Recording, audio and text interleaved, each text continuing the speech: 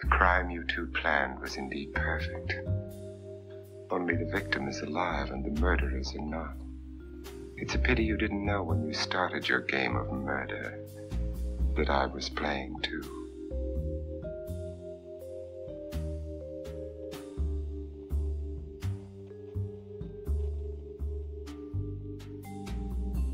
Stany Zjednoczone, rok 1963. Rok, w którym 250 tysięcy osób bierze udział w słynnym marszu na Waszyngton. Rok, w którym w tym samym marszu na Waszyngton lider ruchu praw obywatelskich Martin Luther King wygłasza przemówienie I Have a Dream. Rok, w którym Stany Zjednoczone i Związek Radziecki tworzą gorącą linię łączącą Biały Dom z Kremlem. 1963 to czas wielu przełomowych zmian. Opracowane zostają pierwsza myszka komputerowa i kaseta magnetofonowa, a świat poznaje emotkę uśmiechniętej buźki i postać doktora Hu. Ale to nie wynalazki czy nowinki technologiczne, czy nawet protesty w sprawie praw obywatelskich stają się symbolami 1963 roku. 63 rok to bowiem rok, w którym podczas wizyty w Dallas zostaje zastrzelony sam prezydent Stanów, John Kennedy. Zaledwie dwa tygodnie później inna ikona Ameryki, a prywatnie dobry znajomy Kennedy'ego, także znajduje się w centrum kryminalnego zamieszania. Pewnego śnieżnego grudniowego wieczoru w motelu przy jeziorze Lake Tahoe na granicy Nevady z Kalifornią dwóch napastników porywa 19-letniego syna Franka Sinatry. Tego Franka Sinatry, i chociaż to zdarzenie wstrząsnęło i rodziną Sinatrów, i prasą, i opinią publiczną, a w sprawę natychmiast zaangażowało się FBI i prawie zaangażowała się mafia, to to pozornie groźne zdarzenie szybko zamieniło się w komedię pomyłek. A sami porywacze wyszli na średnio rozgarnięte duo, a potem, jak się okaże, trio domorosłych przestępców. To będzie historia specjalnie dla wszystkich, którzy mają ochotę chociaż na chwilę odpocząć od tych ciężkich, kryminalnych tematów. To znaczy, nadal będzie kryminalnie, ale nie będzie ciężko, a przynajmniej aż tak jak zawsze. W tej opowieści absurd goni absurd, i przyznam, że kiedy pierwszy raz o niej usłyszałam, to nie miałam pojęcia, że jest aż tak zaskakująca. Tak, zaskakująca to jest chyba odpowiednie słowo. Potraktujcie ten podcast jako poradnik, jak nie porywać pociech celebrytów. Jeśli oczywiście planowaliście jakieś porwać. Ale jeśli nie, to też posłuchajcie. No to nie przedłużajmy. Bo dzisiaj zaczniemy nie od opisania życia i kariery Franka Sinatry, bo to nie on będzie głównym bohaterem tej historii. Poznajcie Berego Kinana.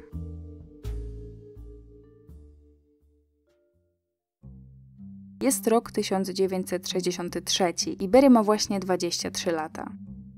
Pochodzi z zamożnej rodziny, a od urodzenia mieszka w Los Angeles. Berry z pozoru nigdy nie miał na co narzekać. Jego ojciec jest wybitnym maklerem giełdowym i prowadzi własną firmę. Rodzice wysyłali Berego do najlepszych szkół w mieście. W późnych latach 50. do klasy chodził z dziećmi popularnych hollywoodzkich celebrytów. Jego rodzina była dość religijna, szczególnie wierząca w Boga ciotka, która z nimi mieszkała, wpajała mu katolickie wartości od początku. Chłopak do tego stopnia zafiksował się na wierze, że zaczął mieć obsesję na punkcie śmierci i pójścia do nieba. Pewnego razu jako dziecko celowo wjechał na rowerze pod samochód, żeby umrzeć i trafić do nieba. Wkrótce potem zaczął rozmawiać z aniołami a przynajmniej, no wiadomo, tak sądził, że rozmawia z aniołami, które miały mu się pojawiać w piwnicy. Kiedy przyznał się do tego ciotce, to kazała mu obiecać, że nigdy więcej już nikomu o tym nie powie. Najważniejsza zasada brzmiała bowiem: musisz dostosować się do otoczenia. Kiedy odstajesz, ludzie traktują cię jak wariata. No to Berry posłuchał. Jak prawie każdy nastolatek z dobrego domu w tamtych czasach zaczął pić, imprezować i eksperymentować z narkotykami. No niby zwykle to nie było nic wyjątkowo destrukcyjnego, takie zabawy młodości. Tylko, że dla niego to była ucieczka od problemów. Jakich problemów? Na przykład rozwodu rodziców. Matka Barego cierpiała na depresję. Kilkukrotnie miała próby samobójcze. Co więcej, dziewczyna Barego zginęła w wypadku samochodowym. A na domiar złego przypominam, że Berry słyszał głosy. Ale były też dobre chwile. Miał wielu przyjaciół, lubił robić dowcipy, a najzabawniejszym żartem było dla niego podpalanie palm na wzgórzach w Hollywood. No, świetna zabawa. W liceum Berry opuścił się w nauce. Wszystko wskazywało na to, że ciężko będzie mu się dostać na studia. Ale wtedy ojciec przyszedł do niego z planem. Jak tylko zacznie się starać, to kupi mu nowiutką korwetę. No i Barry tak się starał, że nie wiadomo w jaki sposób nagle siedział w ławce na studiach. Dokładnie na Uniwersytecie Kalifornijskim w Los Angeles. Zanim jeszcze jednak na dobre zaczął życie studenta, ojciec wkrycił go do biznesu. I tak Barry z kilkoma klientami otrzymanymi od ojca rozpoczął własną karierę na giełdzie. W wieku 21 lat otrzymał licencję maklera papierów wartościowych. Został dzięki temu najmłodszym członkiem regionalnej giełdy Pacific Stock Exchange w Los Angeles w historii. Pomimo młodego wieku, Barry zarabia 40 tysięcy dolarów tygodniowo. To na tyle dużo, że może sobie pozwolić na kupowanie nowiutkich, pachnących samochodów i łodzi. Ma narzeczoną, ma pieniądze, ma karierę i prawie ma wykształcenie. No raj. Niestety, jak to w życiu czasem bywa, jedno zdarzenie sprawiło, że całe życie Berego odwróciło się o 180 stopni. Ber jechał autem w deszczowy dzień, kiedy przed koła wybiegł mu pies. Żeby uniknąć zdarzenia, skręcił kierownicą i rozbił samochód. I przy okazji rozbił siebie. Na skutek wypadku doznał poważnych obrażeń kręgosłupa. Wyszedł z tego, ale w jego życiu od teraz towarzyszył niemal ciągły ból pleców. Żeby jakoś funkcjonować i opanować ten ból, Berry uzależnił się od środków przeciwbólowych. Szybko doszedł do tego alkohol, czasem narkotyki. Jego kariera na giełdzie zaczyna upadać. Nie jest w stanie pracować, przestaje zarabiać, w końcu się zadłuża. Zaczyna pożyczać od rodziców spore sumy pieniędzy. Potem zaciąga pożyczki u znajomych, potem kolejnych. Z jego psychiką też jest coraz gorzej. Dziewczyna go zostawia, w końcu Berry popada w depresję. Znowu pożycza pieniądze tylko po to, żeby móc spłacić wcześniejsze długi, które zaciągnął na leki, żeby chociaż jakoś na chwilę nie czuć tego bólu. Już nie tylko fizycznego, ale może, a może przede wszystkim bólu psychicznego. Ostatecznie rzuca pracę. Poznaje jakąś przypadkową dziewczynę i żeni się z nią w Las Vegas. Sam do końca nie wie dlaczego. Ale Berry zawsze należał do grona osób, które miały spore ambicje żeby mieć za co żyć, pożycza od przyjaciela pieniądze, żeby zainwestować w rolety okienne. Planuje sprzedawać je właścicielom sklepów. Ale niestety przypływ tego lepszego samopoczucia zbiegł się akurat w czasie z falą ulew w mieście. Kiedy padał deszcz, nikt nie chciał kupować rolet, a Berry znowu spadł na dno. Co więcej, jego ojciec zaczął mieć problemy w firmie, chora na raka babcia umarła, Ciotka wpadła w depresję, a matka miała kolejną próbę. Berry wiedział, że musi pomóc już nie tylko sobie, ale też rodzinie. No i wiedział, że nie chce zostać narkomanem, musi, musi coś zrobić. I pewnego dnia, jak na człowieka biznesu, jakim był, przystało, siada z kartką i zaczyna liczyć żeby spłacić wszystkie zadłużenia, wyjść na prostą, zacząć nowy biznes w branży nieruchomości i jeszcze pomóc rodzinie, potrzebuje dokładnie 240 tysięcy dolarów. Dochodzi więc do wniosku, że no, na tych roletach to średnio się dorobi, więc musi zrobić coś spektakularnego. Być może, a może nawet na pewno coś nielegalnego.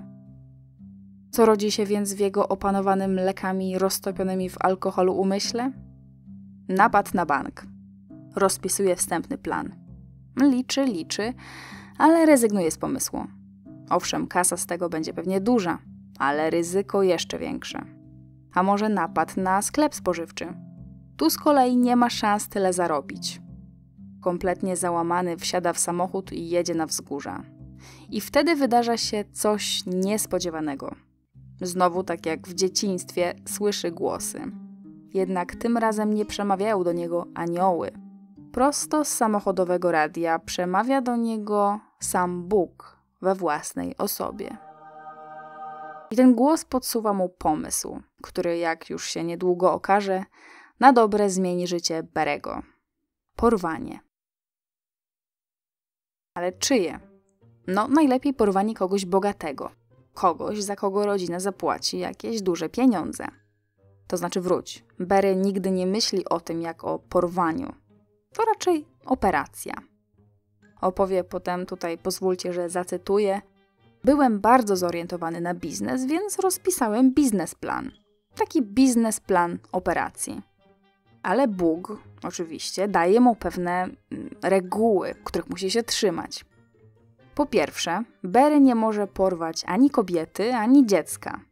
Po drugie, musi jak najszybciej zwrócić zakładnika i najważniejsze po trzecie, kiedy inwestycje z okupu się zwrócą, to będzie musiał oddać wszystkie pieniądze rodzinie. Jako prawdziwy, porządny katolik, Berry też nie traktował tego mm, odebrania okupu jak kradzież, tylko no, jak długoterminową pożyczkę. No i co więcej, Berry nie planuje, a raczej no, nie może też nikogo skrzywdzić. No, brzmiało to ogólnie jak plan doskonały. Brakowało tylko ofiary, a raczej no produktu, który podda stosownej transakcji. Robi więc listę wszystkich bogatych ludzi, których poznał w ciągu swoich 23 lat życia. W kolejności alfabetycznej zapisuje wszystkie dzieciaki zamożnych rodziców, które poznał w liceum. A potem po kolei analizuje. Litera D. Vicky Douglas. Córka dyrektora generalnego Douglas Aircraft. Bogata, więc pewnie tatuś bez gadania zapłaciłby za nią okup. Ale Vicky odpada, bo jest dziewczyną. To jest wbrew boskiej zasadzie numer jeden. Litera L. Arthur Lake. Syn Johnego Weissmullera, pierwszego w historii odtwórcy Tarzana. No ale on też średnio pasuje, no bo kto by się odważył porwać dziecko Tarzanowi? No, jakiś szaleniec. Litera M. Jim Mitchum syn aktora Roberta Michuma. Jima Berry zna całkiem dobrze, więc samo zorganizowanie porwania nie byłoby problemem. Ale sytuacja finansowa Michuma seniora, a przynajmniej tak uważa Berry, jest niepewna. Raz ma pieniądze, raz ich nie ma, a może akurat trafi na ten moment, kiedy nie będzie ich miał i nie będzie go stać na okup? Za duże ryzyko. Kiedy alfabet się kończy, wraca do początku staje na Tonym Hope'ie, adoptowanym synu Boba Hope'a. I tak, przez kilka dni trzyma się tego pomysłu, bo Hope wydaje się bardzo dobrym targetem. Ale potem odpuszcza, bo po przemyśleniu Bob wydał się zbyt wrażliwy, żeby mu to zrobić. Jeszcze się biedny załamie. Co więcej, w czasach wojny Bob organizował trasy dla organizacji charytatywnych i budował morale amerykańskich żołnierzy, zabawiając ich na scenie porwanie syna ulubieńca Ameryki byłoby iście antypatriotyczną zagrywką. Lista celebrytów do porwania stopniowo się kurczy. Aż pewnego dnia, kiedy Berry siedzi na fotelu u Barbera, z okładki magazynu Life zerkają na niego uśmiechnięci Frank Sinatra i jego 19-letni syn Frank Sinatra Jr. Berry wcześniej myślał o porwaniu Nancy, czyli najstarszej córki Sinatry z pierwszą żoną Nancy Barbato. Frank Sinatra to cel wręcz idealny. Jest twardym facetem, raczej na chłodno podejdzie do sprawy. Pewnie zapłaciłby za córkę i skutecznie zamiótłby całą sprawę pod dywan. A był jeszcze jeden powód, dla którego Bell rozważał porwanie Nancy. Po prostu dobrze ją znał. Otóż chodzili razem do klasy przez 12 lat – i podobno się przyjaźnili. To znaczy, tak mówił Barry, a Nancy będzie się tego wypierać. Razem skończyli szkołę, jego kolega umawiał się z nią kiedyś w liceum, a matka Nancy była znajomą matki Berego. Berry sam nie raz, nie dwa odwiedził Nancy w jej domu. Kilka razy nawet osobiście miał okazję porozmawiać z samym Frankiem Sinatrą seniorem. Ale Berry odpuścił Nancy, no bo przecież nie spełniała najważniejszej zasady była kobietą. I w tym momencie, kiedy siedział na fotelu Barbera, zdał sobie sprawę, że rzeczywiście o jej młodszym bracie juniorze nie pomyślał. Frank Sinatra Jr. ma 19 lat. Berry nie zna go zbyt dobrze, ale wie, że raczej podoła psychicznie porwaniu. A Frank Sinatra senior zrobi wszystko, żeby uwolnić syna z rąk porywacza. Frank Jr. był pierwszym i jedynym synem Franka Sinatry z Nancy Barbato. I zatrzymajmy się tu na chwilę. Pozwólcie, że przedstawię Wam tutaj krótko sytuację Sinatrów, rodzinną i nie tylko. Zacznijmy od seniora, ojca rodu. Frank Sinatra, a.k.a. Blue Eyes, urodził się w 1915 roku w Hoboken w stanie New Jersey jako jedyne dziecko sycylijskich imigrantów. Chociaż jego matka przewidywała, że w przyszłości zostanie dziennikarzem, to Frank od dzieciństwa miał nieco inne plany. Zafascynowany muzyczną karierą swojego idola Binga Crosbiego, wymarzył sobie, że on także zostanie piosenkarzem i także będzie czarował głosem na scenie.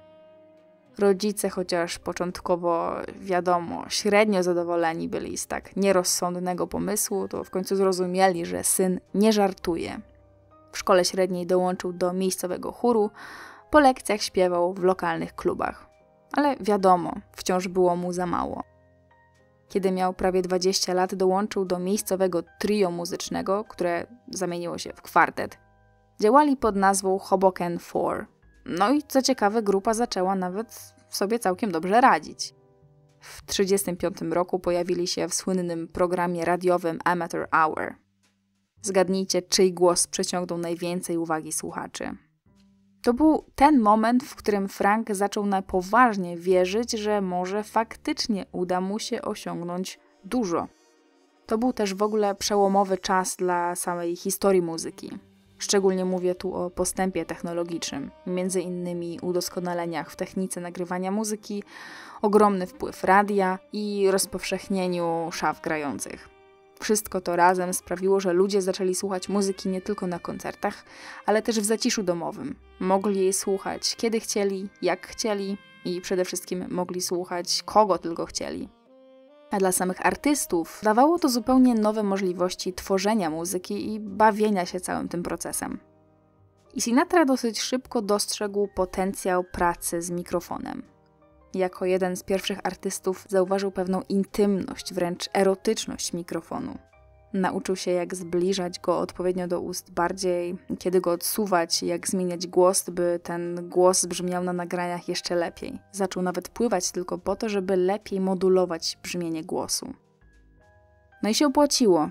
W 1945 roku Sinatra zdobył nagrodę Billboardu dla najlepszego wokalisty. To mu dało skrzydła, żeby odejść z zespołu i na dobre zostać wokalistą solowym. Jak pomyślał, tak też zrobił. Rok później dał pamiętny występ w jednym z nowojorskich teatrów Paramount. Publika liczyła około 5 tysięcy osób. I co ciekawe, składała się głównie z nastoletnich dziewcząt. Nigdy wcześniej świat muzyki nie widział czegoś takiego jak wtedy. Tysiące młodych dziewczyn piszczało, krzyczało i dosłownie wariowało na widok jednego muzyka. Wiecie, dzisiaj to jest dosyć normalne, no ale wtedy to był pierwszy raz, kiedy Ameryka doświadczyła takiego popkulturowego fenomenu. Eksplozja sławy Sinatry wywołała masową sensację. Teraz już każdy się nim interesował. Nawet jeśli wcześniej nie znał jego muzyki, to po prostu z ciekawości sprawdził, o co to całe zamieszanie i kim w ogóle jest ten cały Sinatra. Przez tą nazwijmy to fascynację nastolatek trochę czasu musiało minąć, zanim ludzie rzeczywiście docenili kunszt jego muzyki. W latach 40. na dobre podbił już serce Amerykanów. Po długim czasie kryzysu gospodarczego i w trakcie trwania wojny kraj potrzebował romantycznych idoli śpiewających kojące serce ballady. Sinatra podpisał wtedy kontrakt z wytwórnią Columbia Records i zaczął jednocześnie występować w filmach, przede wszystkim w musicalach. Ale pod koniec dekady jego kariera zaczęła gwałtownie zmierzać ku upadkowi. Główną przyczyną takiego stanu rzeczy była zmiana gustów muzycznych.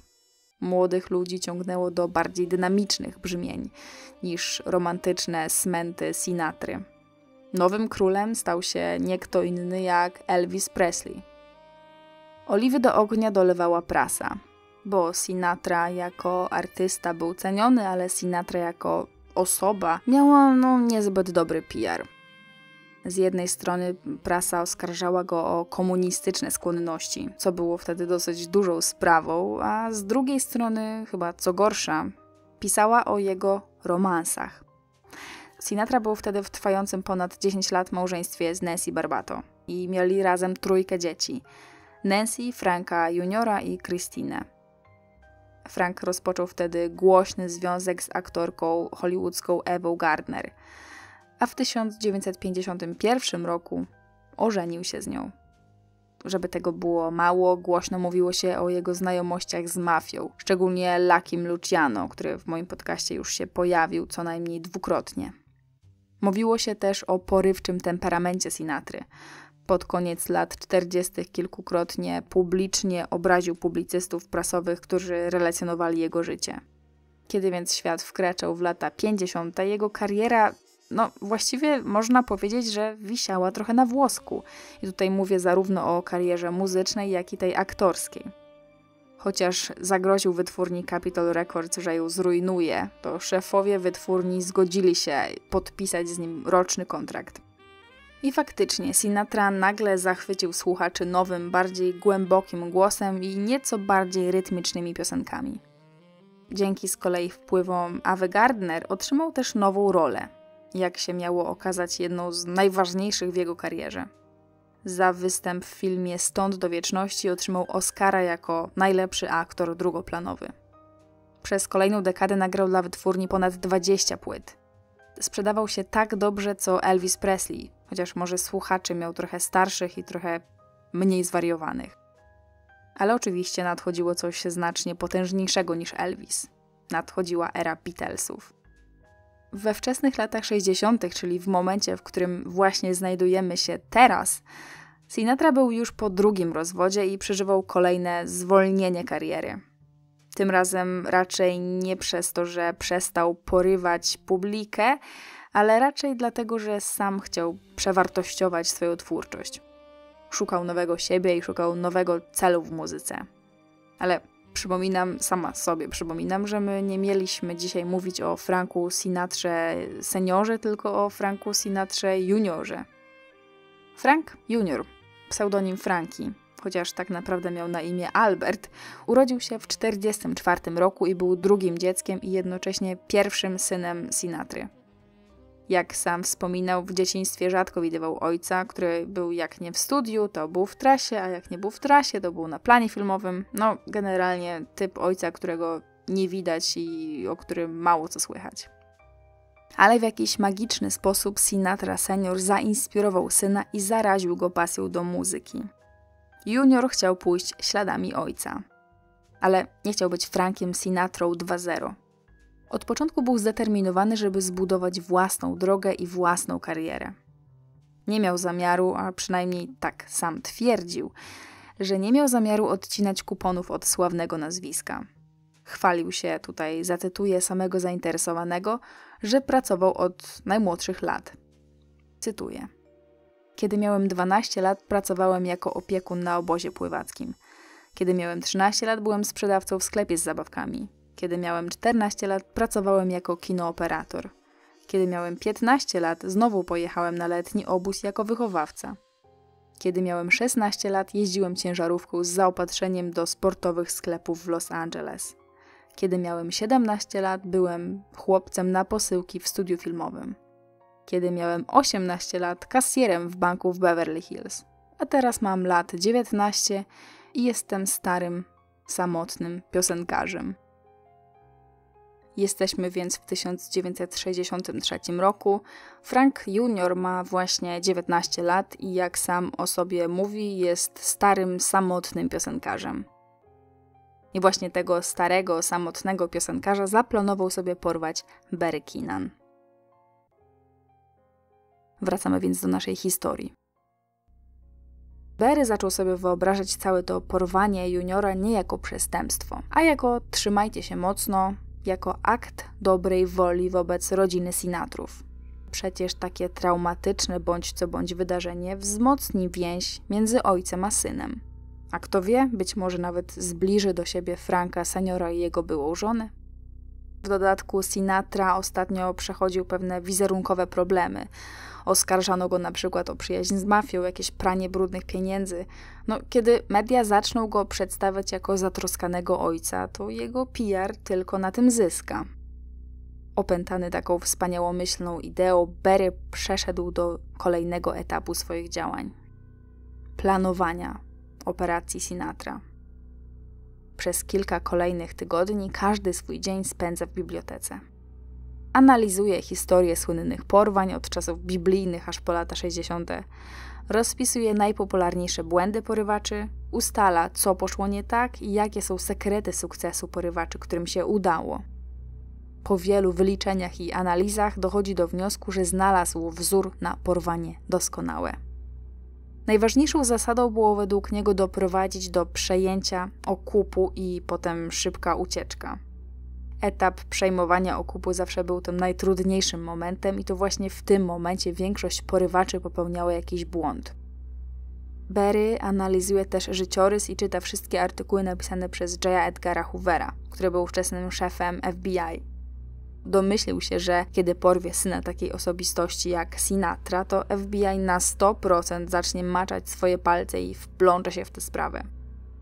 Czyta o Hooverze tak dużo, że wkrótce o swoim przeciwniku numer jeden wie chyba wszystko. Chwile wolne od przesiadywania w bibliotece Berry spędza w kościele. Każdego dnia gorąco modli się do Boga o powodzenie jego operacji. Po kilku tygodniach jego plan jest gotowy. Wszystkie notatki dokładnie rozpisał i zamknął w grubym segregatorze. Cała tajemna wiedza na temat porwań mniejszych i większych zamknięta w kilkuset stronach. Z obliczeń wyszło mu, że niestety nie da się ziścić tego planu bez żadnego wkładu pieniężnego. Żeby doszło do porwania, potrzebuje jakieś około 5000 dolarów. No ale skąd je wziąć, skoro sam to nie w długach? Od rodziców nie pożyczy. Ale że Berry ma przyjaciół, podkreślam bogatych przyjaciół, to pomyślał o swoim dobrym kumplu Dinie Torensie. Trochę mu było głupio, bo dopiero co Dean pożyczył mu pieniądze na ten fantastyczny biznes roletowy i w sumie to te pieniądze utopił, ale co mu szkodzi? Dean był jego najlepszym przyjacielem. Znali się od dziecka, byli jak bracia, razem chodzili do szkoły, razem studiowali i razem czasem zarabiali na inwestycjach. Różniło ich tylko to, że Dean Torrens w przeciwieństwie do Barego był znaną twarzą, obiektem westchnień, którego buźka zdobiła okładki kolorowych magazynów i ściany pokojów amerykańskich nastolatek. Otóż Torrens w duecie z Janem Berrym podbili serca kobiet i nie tylko jako muzyczne duo Jan and Dean i obok Beach Boysów byli pionierami kalifornijskiego surf rocka. We wrześniu 1963 roku Berry dzwoni więc do Dina Torrensa i mówi, że ma do niego interes. Chce, żeby Dean zainwestował w jego mały plan. Właściwie to taki malutki planik. Następnego dnia spotykają się na terenie kampusu. Berry pokazuje Deanowi potężny segregator ze swoimi szalonymi zapiskami i krok po kroku wprowadza go w szczegóły pomysłu. Operacja Sinatra nie zakłada słów porwanie, tylko odebranie. Tak samo nie mówi okup, tylko pożyczka. Na koniec tej opowieści Berry przedstawia kosztorys i informuje Dina, że musi mu ten plan sfinansować. No nie ma innej opcji. Dean tak słucha tego wywodu o porwaniu, nieporwaniu, o tym, że Frank Jr. będzie uwolniony po 24 godzinach i o tym, że jak tylko Berry odrobi pieniądze z okupu, to wszystko odda rodzinie Sinatrów i, i patrzy. Berry mówi mu tak, tu cytuję. Mam zamiar inwestować w projekty nieruchomościowe w West Los Angeles. Potem wyślę pieniądze z powrotem do Franka Sinatry. Wyobraź sobie tylko reakcję jego i FBI na to, jak pieniądze z okupu same zaczną do niego wracać. Przekonuje Dina, że przecież to zbliży rodzinę Sinatrów i że nikomu nic się nie stanie. Win-win dla wszystkich. Po latach Dean powie tak. Ten plan wydawał się tak szalony, że pomyślałem, że Barry tylko fantazjuje. Nie sądziłem, że traktuje to poważnie. Oczywiście wiedziałem, że ten pomysł był zły. Z drugiej strony, jeśli tylko sprawiało mu to radość. Koniec cytatu. Dean dał przyjacielowi 500 dolarów i powiedział, tu znów cytuję: Zgłoś się stary do psychiatry. Ach, żeby tylko Berry go posłuchał. Berry wrócił do domu, no średnio zadowolony. Deanowi jego pomysł wydał się najśmieszniejszą rzeczą, jaką słyszał w życiu. Trudno, zdobędzie kasę w inny sposób. Teraz miał trochę poważniejszy problem, bo potrzebował ludzi. Dean najwyraźniej średnio kwapił się do pomocy. Nie, to nie. No to Berry zaczął myśleć. zwrócił się do swojego kumpla z liceum, Johna Amslera. Amsler pracował jako nurek głębinowy i był przystojnym, doskonale zapowiadającym się pięściarzem. Niedawno się ożenił, więc Barry wiedział, że potrzebuje gotówki. A przecież plan Sinatra zakładał właśnie zastrzyk gotówki. No i najważniejsze. Wcześniej panowie należeli razem do jednego z bractw studenckich. A braci się nie traci i kiedy przysięgli sobie pomagać na dobre i złe, to byli śmiertelnie poważni. Plan Sinatra zakładał porwanie juniora w jego pokoju hotelowym po którymś z koncertów. Następnie mieli przewieźć go do kryjówki w Los Angeles. To była mała działka z domem pod miastem, którą Barry wynajął specjalnie w tym celu na fałszywe nazwisko Frank E. Long. Zbieżność imion z pewnością nie była tu przypadkowa. Z tej kryjówki mieli rozpocząć telefoniczne negocjacje z ojcem Sinatry. Mieli zażądać przekazania 240 tysięcy złotych, a kiedy je dostaną, wypuszczą Franka i uciekną. No brzmiało to genialnie. Genialnie w swojej prostocie. Berry za to wszystko zaproponował Amslerowi, trzymajcie się mocno, 100 dolarów tygodniowo. 100 dolarów tygodniowo za pomoc w przygotowaniach do porwania oraz samym porwaniu.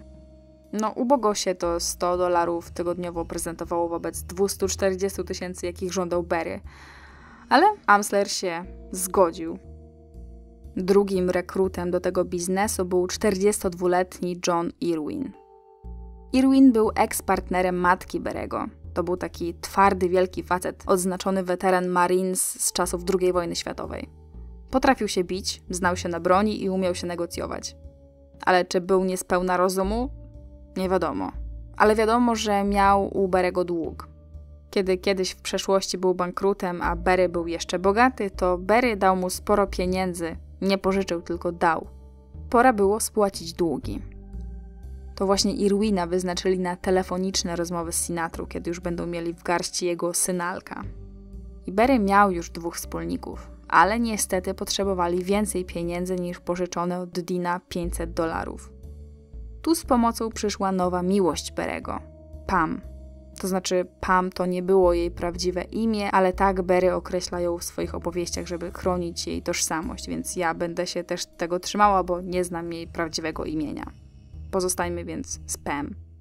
Pam była podobno, bo jej nie widziałam, piękną, wysoką blondynką, która należała do lokalnej drużyny siatkarskiej. Taka dziewczyna z dobrego domu, z fortuną odziedziczoną po babce i przede wszystkim wielką miłością do Berego. Nieśmiało zwrócił się więc do Pam z prośbą o pieniądze. Ale pamiętajmy, że Berry był osobą głęboko religijną.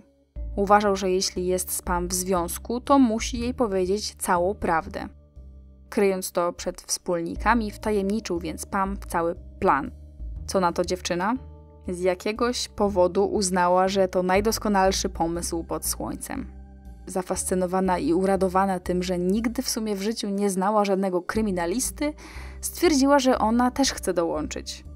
Berry zgodził się, żeby dołączyła, ale jako inwestorka. Żadnego maczania rąk w samo porwanie. Po kilku długich tygodniach wtajemniczania wspólników w plan operacji Sinatra i śledzeniu przyszłej ofiary, Berry w końcu stwierdził, że oto właśnie nadszedł właściwy moment. Akcję zaplanował na listopad 63 roku.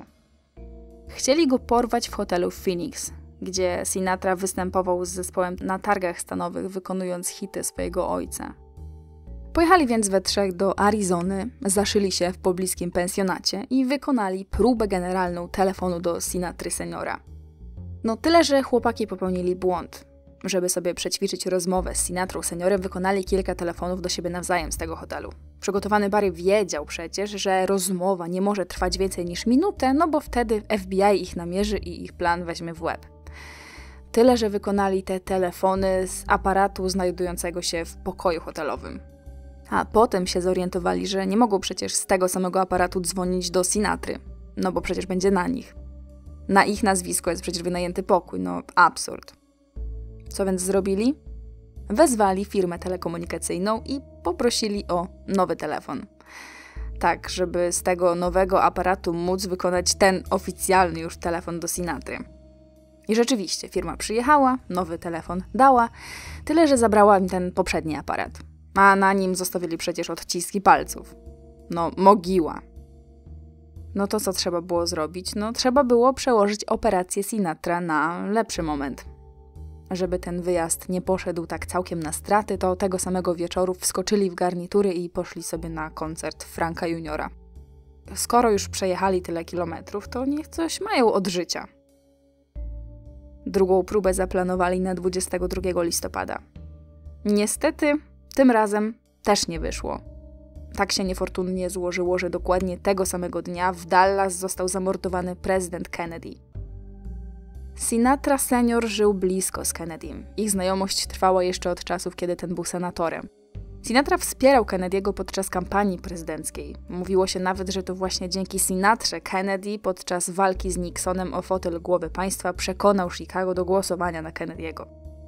To Sinatra podobno przedstawił Kennedy'emu Campbell Exner, kobietę, która później twierdziła, że była kochanką zarówno Sinatry, jak i Kennedy'ego, jeszcze szefa mafii Sama Giancany, któremu również przedstawił ją ponoć Sinatra.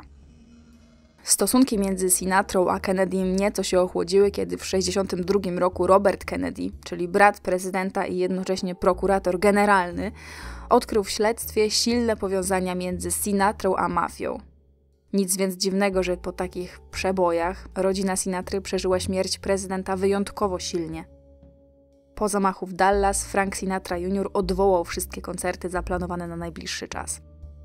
A to był dla Berego i jego ekipy srogi problem.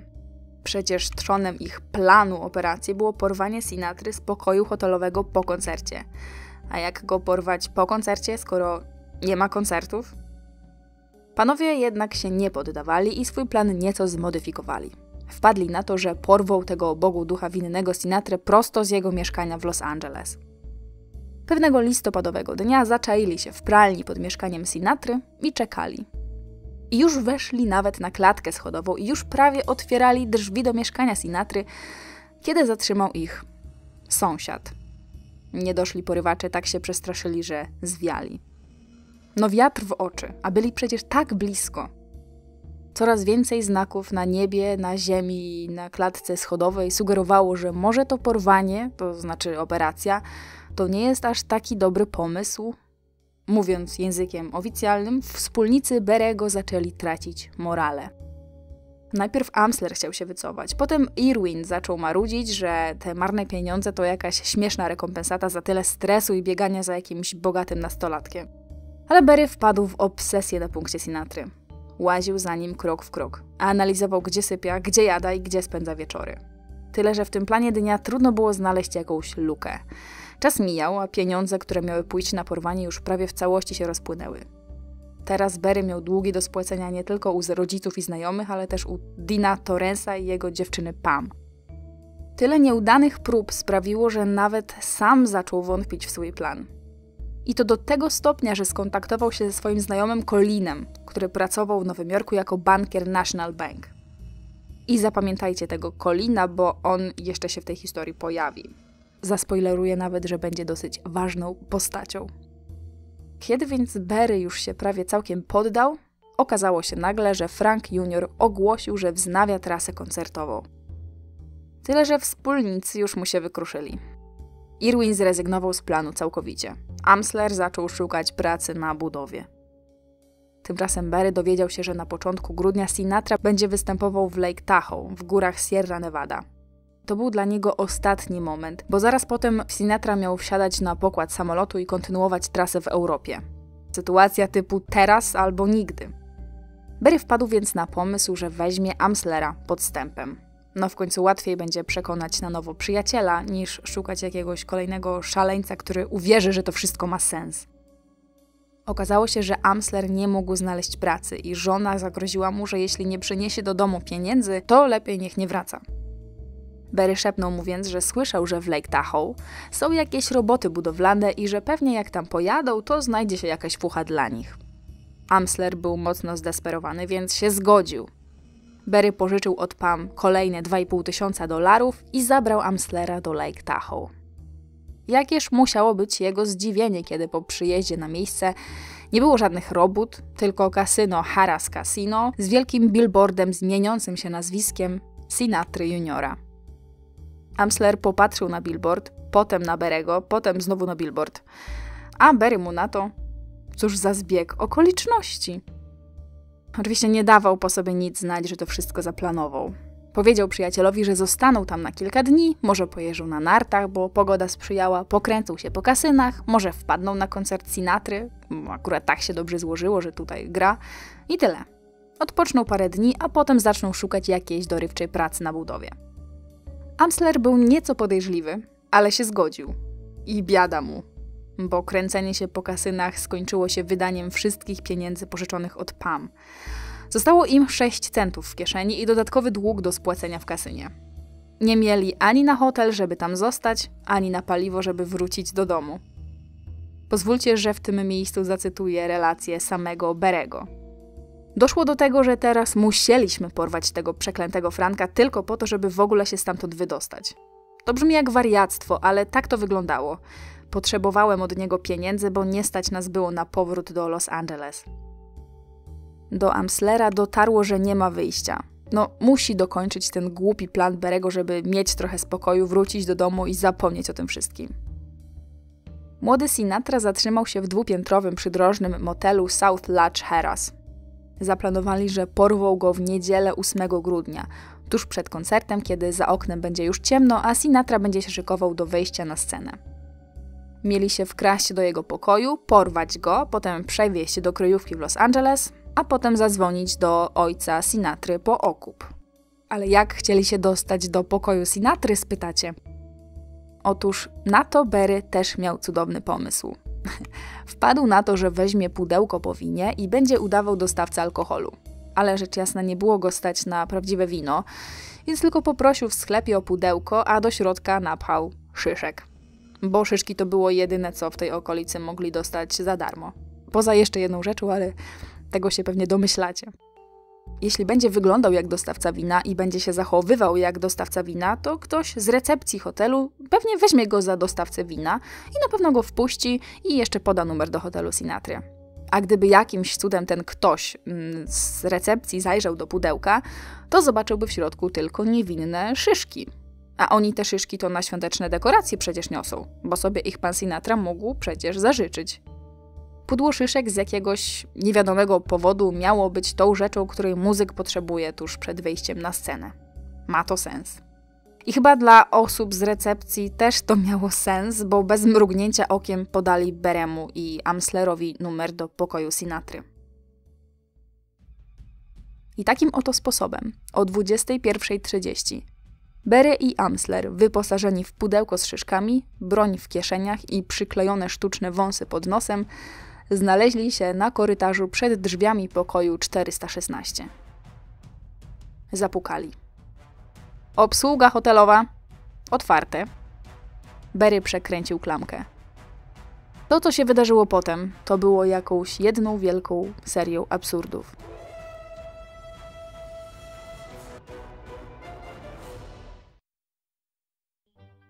Frank Junior siedział na kanapie w samych bokserkach i właśnie kończył obgryzać łódko kurczaka. Obok niego wisiał smoking, w który miał zaraz wskoczyć. Weszli do środka. Berry postawił pudełko na stole. Tyle, że. Tyle, że pojawił się jeden mały problem. Frank nie był sam. Obok niego kolację zajadał John Foss, 26-letni trębacz z zespołu, z którym koncertował Sinatra. A towarzystwa ich plan nie zakładał. Amsler popatrzył przerażony na głowę operacji. Berry powoli wyciągnął z kieszeni niebieski rewolwer kaliber 38 z długą lufą i powiedział, tu cytuję, nie róbcie hałasu, a nikomu nie stanie się krzywda. Wyglądało to raczej śmiesznie niż strasznie. Dłoń mu się cała trzęsła. Ale nie dlatego, że nigdy wcześniej nie strzelał, choć to pewnie też, ale dlatego, że broń była naładowana, a on przecież nie chciał nikomu zrobić krzywdy. Jego to wcześniejsze bibliotekowe śledztwo wykazało, że Frank jest kolekcjonerem broni. Więc jeśli zacznie do niego celować z jakiejś atrapy, no to wystarczy, że ten spojrzy, a będzie już wiedział, co się święci. Stali tam więc tak we trzech. Dwóch porywaczy w doklejonych wąsach i dwóch gości brudnych od pieczonego kurczaka, w tym jeden w samych gaciach. Jako pierwszy z towarzystwa odezwał się Berry. Gdzie są jakieś pieniądze? Żeby Sinatrę porwać, najpierw musiał pożyczyć od niego pieniądze, żeby w ogóle dojechać do kryjówki do Los Angeles. Ale ja nie mam pieniędzy. Daj spokój, musisz mieć jakieś pieniądze. Cokolwiek. Gdzie masz portfel? Sinatra wskazał komodę. Miał 100 dolarów i kilka drobnych. Berry wyciągnął pieniądze w kierunku Amslera i krzyknął do niego: Joe, bierz tą forsę. Oczywiście nie powinien zwracać się do niego po imieniu. Mieli nawet wymyślone na tę okazję pseudonimy, ale Berry zapomniał, jak miał mówić do Amslera, więc po prostu powiedział do niego po imieniu. A ty co masz? Teraz Berry zwrócił się do Fosa, udając chyba, że nie wydał właśnie imienia swojego wspólnika. Ja nic nie mam, proszę pana. No cóż, więc musimy zabrać ze sobą jednego z was. Ty w ciemnych włosach, tu miał wskazać na Sinatrę, jedziesz z nami. Że niby wiecie, nie wiedział, kim Sinatra jest. A Sinatra na to, ale ja jestem w bieliźnie. Dobroduszni porywacze pozwolili mu się ubrać. Założył na szybko dresowe spodnie, t-shirt, wiatrówkę i buty bez skarpetek. Mm, średnie odzienie jak na początek grudnia i śnieżyce stulecia, ale zawsze to lepsze niż bokserki.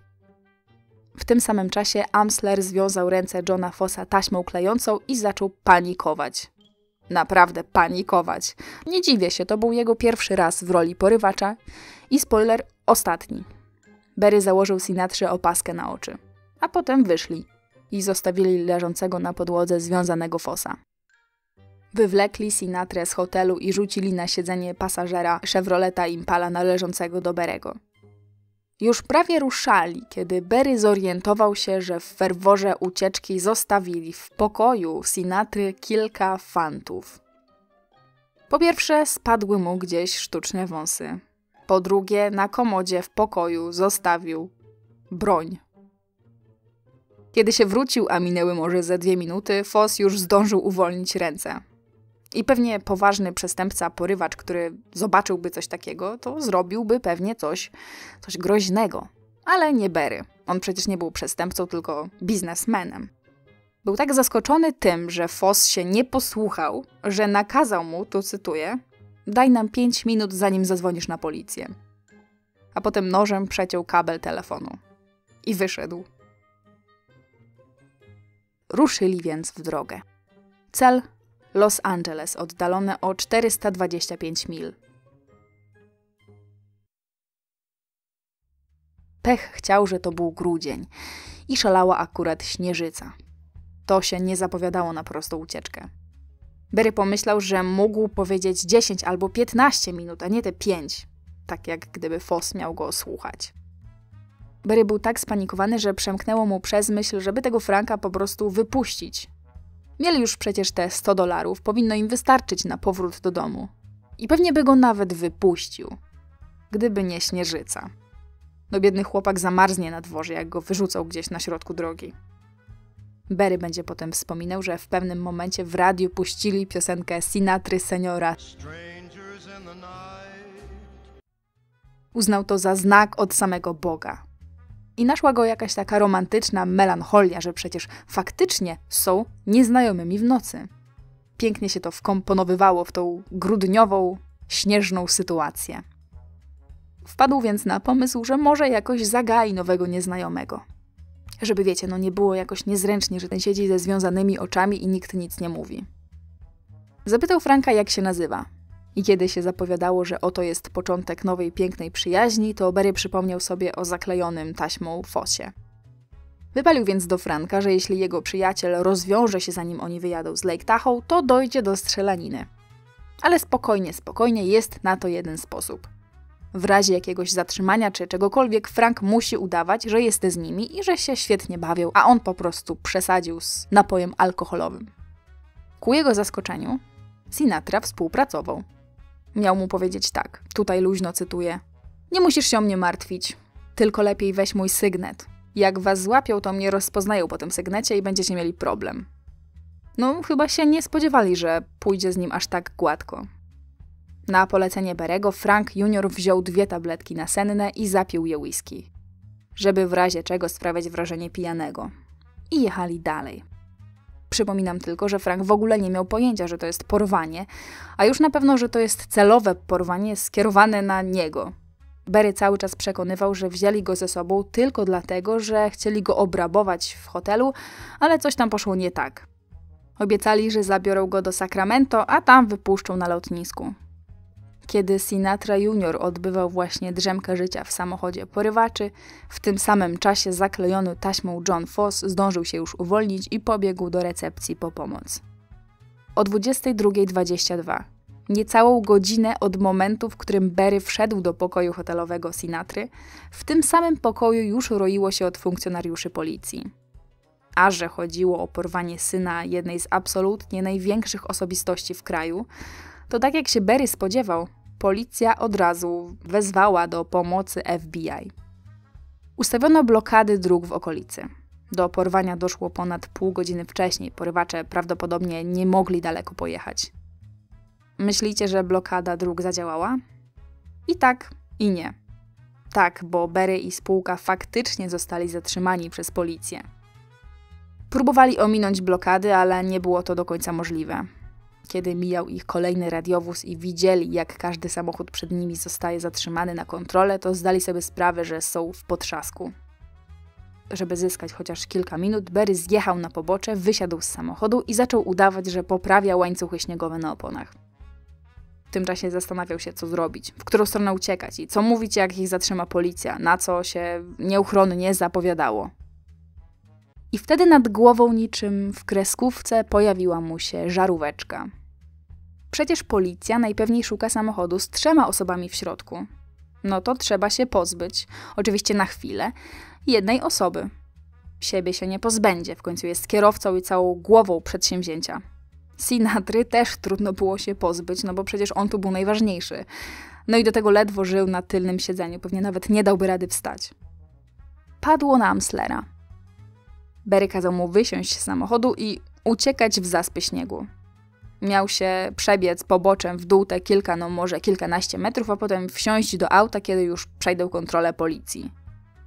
Amsler no, nie był zadowolony. Śnieżyca była taka, że ledwo dało się iść. W dodatku temperatura też nie zachęcała do wysadzania z auta choćby czubka nosa. Ale co miał począć? Pozostawało mu albo to, albo trafić do więzienia. Zanim dojechał do nich radiowóz, Amsler wypadł z samochodu i zaczął biec w zaspy śniegu, prosto przed siebie w dół zbocza. Chyba ten śnieg musiał sprawić, że zamknął oczy, bo wbiegł na słup telefoniczny, z całym impetem uderzył się w głowę, przewrócił się w zaspę i stracił przytomność. W dokładnie tej samej chwili do samochodu Berego podjechał radiowóz. Oficer się tak średnio patyczkował. Wycelował w niego broń i zapytał, a co tak obywatel sobie grzebie przy aucie późnym wieczorem w środku śnieżycy? Berry z zimną krwią odpowiedział, że no łańcuchy śnieżne sobie zdejmuje z opon. Nie widać? Dlaczego zdejmuje? albo życie na krawędzi lubi. Funkcjonariusz popukał się w głowę i poświecił do środka samochodu latarką. Jakim cudem w ledwo przytomnej twarzy pasażera nie rozpoznał młodego Sinatry i jakim cudem jego podejrzeń nie wzbudził fakt, że pasażer miał prawdopodobnie zasłonięte oczy, to już do dzisiaj pozostaje tajemnicą. Berry powiedział, że im się śpieszy. Policjant pokiwał głową i ich puścił. Kiedy radiowóz odjechał, Berry wyjrzał za szybę, ale ani śladu po Amslerze nie było widać. Zaczął go wołać i po chwili Amsler, który właśnie odzyskiwał przytomność, wynurzył się z zaspy cały we krwi. Kiedy udało mu się w końcu wspiąć z powrotem na wzgórze i wejść do samochodu, to Barry polecił mu wsiąść do bagażnika. Tak, tak będzie najbezpieczniej. I tak też się stało. Prawie całą dalszą drogę Amsler rzeczywiście spędził w bagażniku.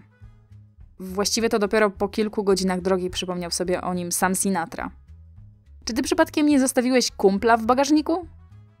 Kiedy Berry otworzył bagażnik, Amsler leżał przemarznięty z jakiegoś powodu z odwrotnie założonymi butami i zakrwawioną głową. Może jego stan fizyczny na to nie wskazywał, ale humory im dopisywały. Tymczasem Sinatra senior był już na linii z szefem FBI J.M. Edgarem Hooverem. FBI przypuszczało, że motywem porwania mogły być pieniądze.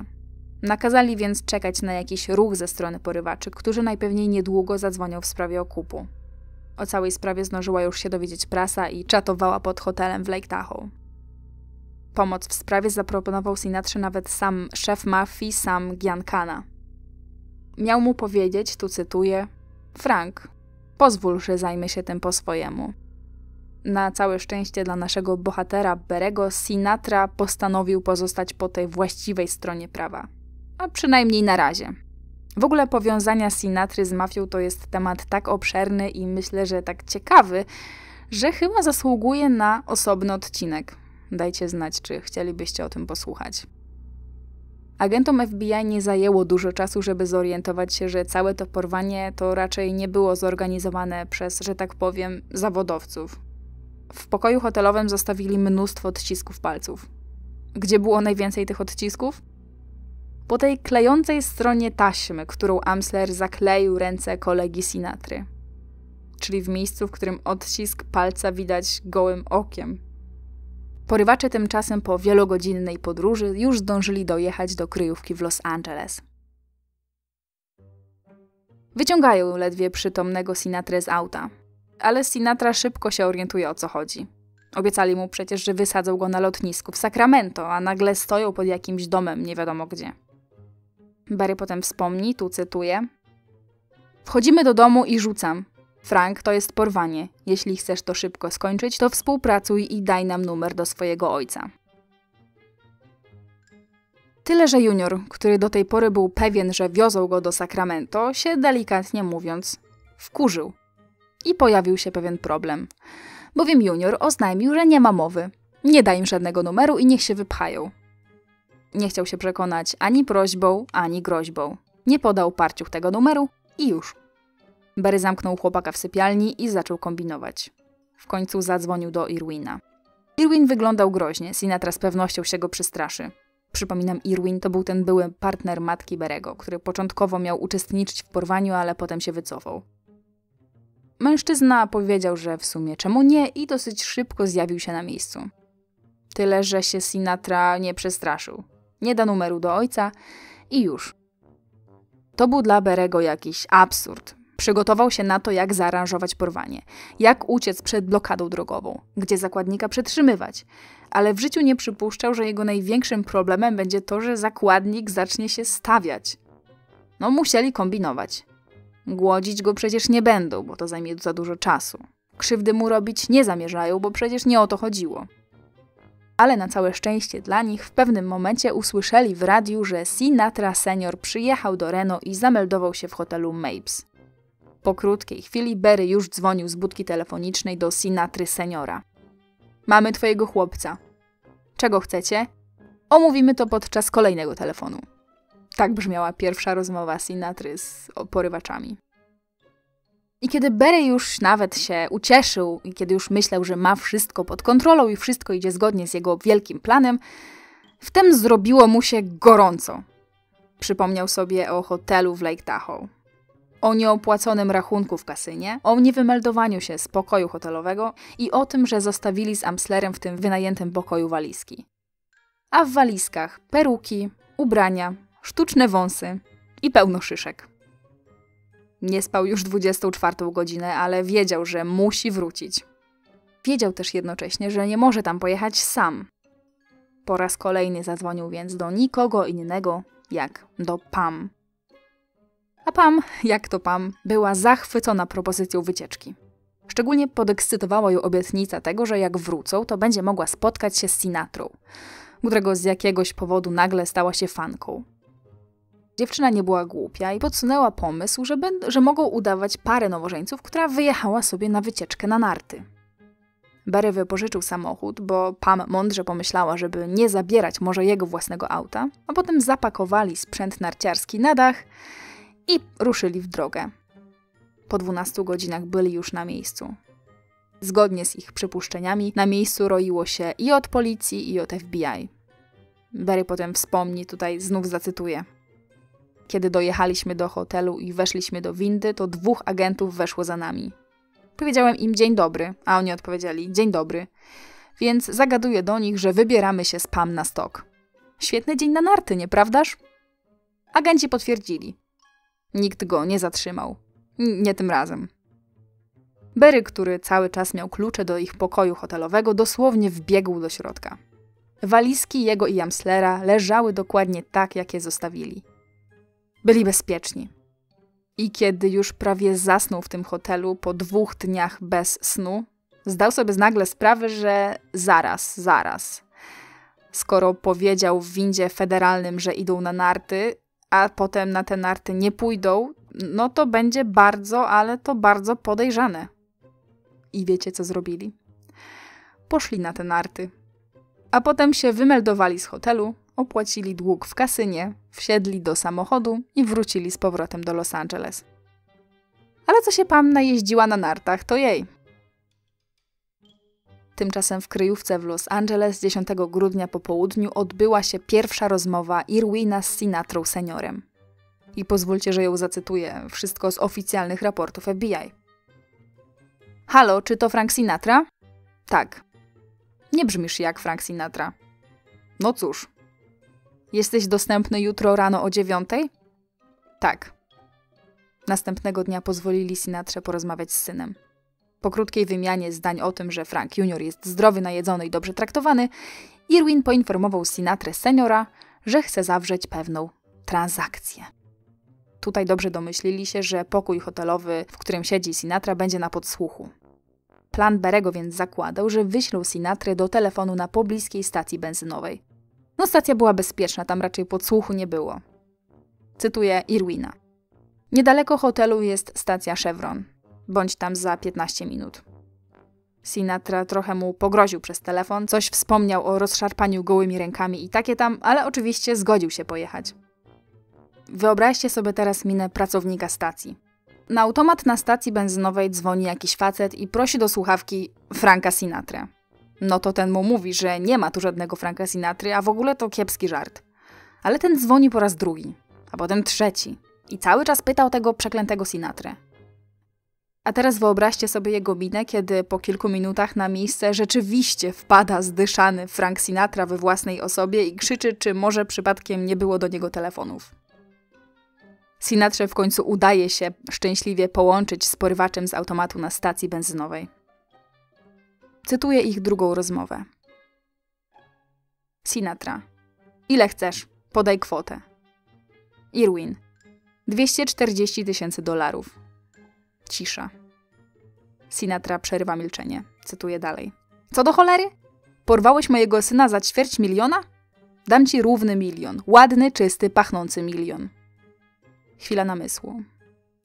Irwin. Ale my nie potrzebujemy tak dużo. Nie chcemy pana wykorzystać, panie Sinatra. Potrzebujemy tylko 240 tysięcy. Sinatra. Jesteście świrnięci. 240 tysięcy to 240 tysięcy. Sinatra oczywiście zamierzał zapłacić porywaczom. W końcu chodziło o życie jego syna, a dla niego to nie była jakaś specjalnie duża kwota. Od razu po rozmowie zadzwonił do swojego przyjaciela Ala Harta, prezesa City National Bank w Beverly Hills, żeby ten zaaranżował mu gotówkę na okup. Potem Sinatra udał się do Los Angeles, żeby czekać na dalsze instrukcje porywaczy. Reporterzy już czatowali na niego pod domem jego byłej żony w Beverly Hills. Na dobrą sprawę to było największe porwanie dziecka amerykańskiego celebryty od czasu słynnego uprowadzenia Lindberga z 1932 roku. Wszyscy i wszędzie mówili tylko o tym. Zdawało się, że w tym kraju tragedia goni tragedię. Dopiero co zamordowano prezydenta, a teraz co? Zamordują syna jednego z największych gwiazdorów muzycznych? Hart, czyli ten gość z banku, zebrał pieniądze, a Sinatra senior dostarczył je w gotówce do FBI, by agenci sfotografowali każdy banknot. No bo wiadomo, no współpracował z agentami, więc raczej mało kto się spodziewał, że po prostu dałby pieniądze porywaczom i tyle. Agenci następnie zapakowali pieniądze w czarną torbę. Łącznie w gotówce było tam 239 985 dolarów. 15 dolarów poszło na zakup torby. Szanuję ich za tę skrupulatność. W tym samym czasie z Lake Tahoe wrócił Barry. Ale bez Pam, bo Pam miała akurat trening siatkówki. Kiedy dojechał do kryjówki, okazało się, że Irwin całkiem się zżył z Frankiem Juniorem. Następnego dnia wieczorem, 11 grudnia, miało się odbyć wielkie przekazanie pieniędzy. I teraz chwilę o tym, jak wyglądały przekazane przez porywaczy instrukcje. Agent FBI albo ktokolwiek od Sinatry bierze walizkę z pieniędzmi i jedzie do LAX, czyli na lotnisko w Los Angeles. tam podchodzi do długiej linii automatów telefonicznych. Irwin dzwoni na numer jednego z automatów. Agent odbiera telefon, mówiąc: Tu Patrick Henry. To był ich kod. Irwin podaje agentowi kolejne instrukcje. Ma pojechać na stację paliw w mieście Sepulveda w Kalifornii i czekać na następny telefon. W kolejnej rozmowie Irwin podaje agentowi instrukcję, gdzie ma zostawić pieniądze. Walizkę ma położyć pomiędzy dwoma zaparkowanymi autobusami szkolnymi na parkingu obok tej stacji. Następnie agent ma wrócić do domu Sinatry, bez żadnych numerów rzecz jasna, i czekać na informacje o uwolnieniu juniora. Stacja była doskonale widoczna z restauracji na dachu hotelu Holiday Inn. To właśnie z tego dachu wszystko mieli obserwować Berry i Amsler. Plan był taki, że kiedy federalny zos będzie zostawiał walizkę między tymi autobusami, to Amsler pójdzie ją na piechotę odebrać, a Berry w wyznaczonym miejscu odbierze Amslera z walizką swoim samochodem. Następnie wrócą do kryjówki, w której będzie czekał na nich Irwin z Sinatrą juniorem. Kiedy pieniądze będą bezpieczne, Berry zapakuje juniora do samochodu, pokręci się z nim po okolicy, żeby zmylić jego orientację w terenie, a potem gdzieś wysadzi. I wszyscy będą szczęśliwi. Sinatra z rodziną, a oni z pieniędzmi. Ale jak już możecie się chyba domyślać, plan wziął w łeb. To znaczy, owszem, federalny dogadał się z Irwinem, owszem, zostawił walizkę między busami i owszem, Amsler i Berry oglądali to wszystko z dachu Holiday Inn. I nawet Berry wsiadł do samochodu i czekał na Amslera w wyznaczonym miejscu. Tyle, że Amsler nie przyszedł. Minuty mijały, a Amsler nie przychodził. A więc Berry odpala auto i jedzie na miejsce. Patrzy. Walizka stoi między autobusami, jak gdyby nigdy nic. Ale Amslera brak. W pewnym momencie w lusterku wstecznym zauważa zaparkowany niedaleko samochód. A w środku dwóch facetów w kapeluszach, dokładnie takich, jakie nosili w tamtych czasach agenci FBI. Są w pułapce.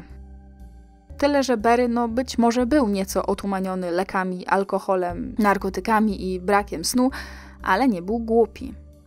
Na darmo nie studiował wcześniej działań FBI. Wiedział, że federalni nic mu nie zrobią, dopóki nie będą znali miejsca pobytu zakładnika. Wysiadł więc z auta, wziął walizkę i odjechał. Samochód agentu rzecz jasna pojechał za nim, ba nawet dwa samochody. Ale Berry tak dobrze znał okolice, że tych federalnych zgubił. Cały roztrzęsiony wysiadł gdzieś na stacji benzynowej i z budki telefonicznej zadzwonił do Irwina, który przypominam w kryjówce czekał na niego z Sinatrą juniorem, gotowym do pożegnania się z nowym przyjacielem. No i co w tej słuchawce słyszy Irwin? Spójrzmy na to trochę z jego perspektywy. Że Berry pojechał po okup sam. Że nie ma pojęcia, co się stało z Amslerem. Że zniknął. Irwin zaczyna panikować. Po prostu potwornie panikować. Jak to, co się stało z Amslerem?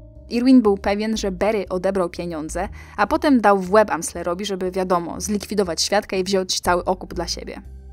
Jego umysł zaczął szaleć. Brak snu i spora dawka narkotyków i alkoholu chyba zrobiły swoje. Co więc zrobił Irwin? Wsadził juniora do auta i uciekł. A potem w akcie paniki wysadził go gdzieś po drodze na środku autostrady. 12 grudnia o drugiej nad ranem Frank Sinatra senior otrzymał telefon. Po drugiej stronie słuchawki usłyszał mężczyznę, z którym wcześniej kontaktował się w sprawie okupu. Sinatra wpada w szał. Irwin mówi tak. Coś poszło nie tak, ale twój syn jest bezpieczny. Wysadziłem go przy Mulholland Drive. Przepraszam. Sinatra trzasnął słuchawką i razem z agentem FBI, który cały czas czatował w domu jego byłej żony, wsiedli do samochodu, żeby poszukać wypuszczonego rzekomo Franka Juniora. Tymczasem Berry już wrócił do kryjówki i zorientował się, że nie ma w środku ani Irwina, ani Amslera, ani Sinatra Juniora. Został sam.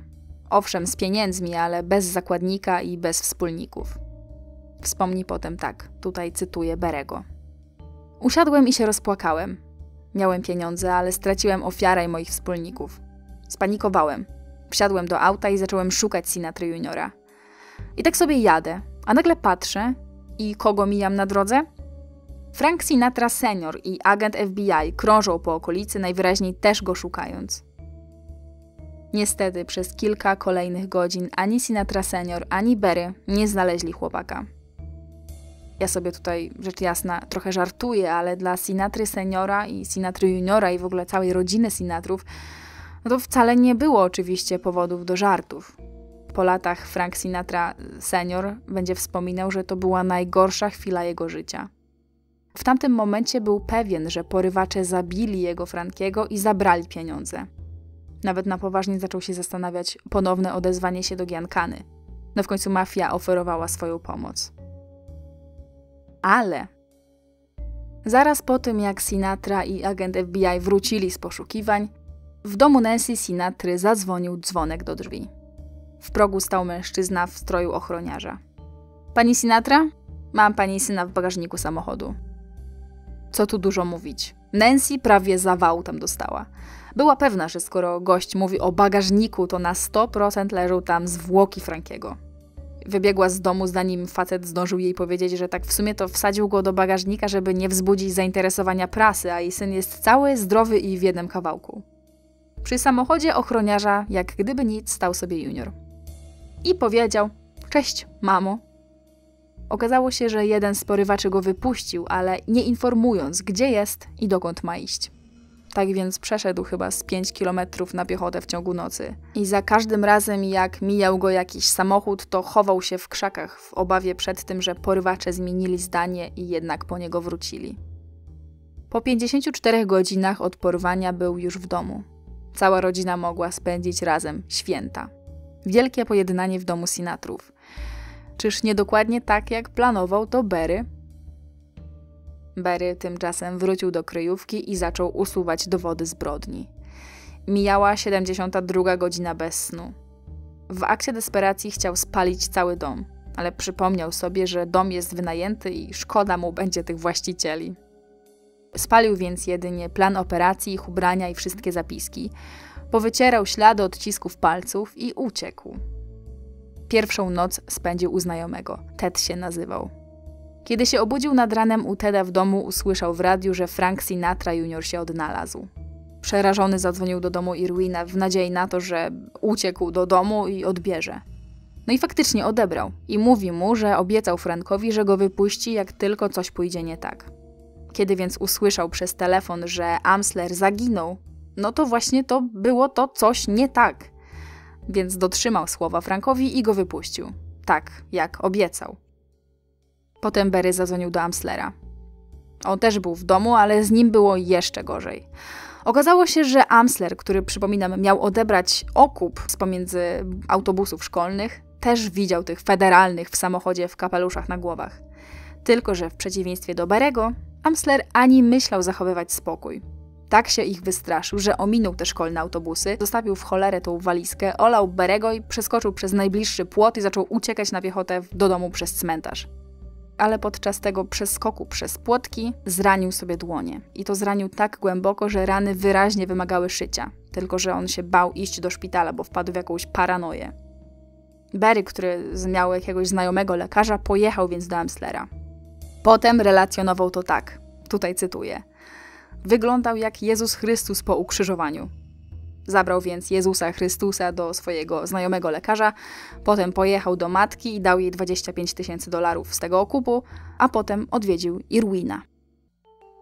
U Irwina cały czas gra telewizor. Wszystkie stacje mówią o porwaniu Sinatry. Wydaje się, że cały świat nie mówi o niczym innym. W telewizji dowiadują się, że owszem, chłopak jest cały i zdrowy, ale FBI nadal szuka porywaczy. I wtedy nagle w tej telewizji widzą swoją kryjówkę. Jakim cudem federalni trafili na ich kryjówkę i to tak szybko? Okazuje się, że to była wina Amslera. Przez telefon podał komuś adres, a ten z kolei usłyszał przetrzymywany Sinatra. Cały czas czuli oddech FBI na plecach. Wiedzieli, że muszą uciekać, najlepiej każdy w inną stronę. Tyle, że znowu włączają telewizję i media mają dla nich kolejną średnio pozytywną wiadomość. Na ekranie odbiornika pojawia się wielki rysopis porywacza sporządzony na podstawie zeznań Johna Fossa, czyli tego muzyka, który był świadkiem porwania Sinatry.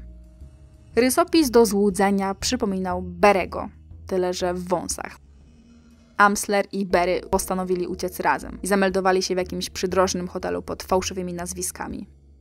Tyle, że, że tak powiem, nie do końca chyba zdawali sobie sprawę z powagi sytuacji.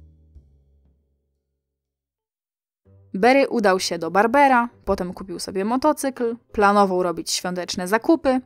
Jak potem wspomni, to właściwie przejmował się głównie tym, że policja zatrzyma go zanim zdąży kupić prezenty dla rodziny, więc wydaje mi się, że trochę pogodził się z tym losem. Potem zatrzymali się na jedną noc u znajomych. Berry wspomni, tutaj znowu zacytuję. Wyłożyliśmy z Amslerem sobie te wszystkie pieniądze na podłodze. Tańczyliśmy na nich, odpalaliśmy od nich papierosy, rzucaliśmy w siebie plikami pieniędzy. Robiliśmy wszystko to, co widzieliśmy w filmach. Ale wiadomo, jak to w filmach bywa, FBI nadal ich szukało.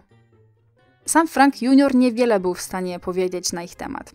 Przez całe porwanie miał na oczach opaskę.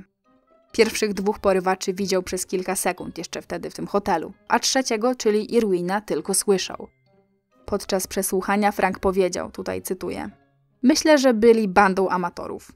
Oni byli bardziej przerażeni niż ja.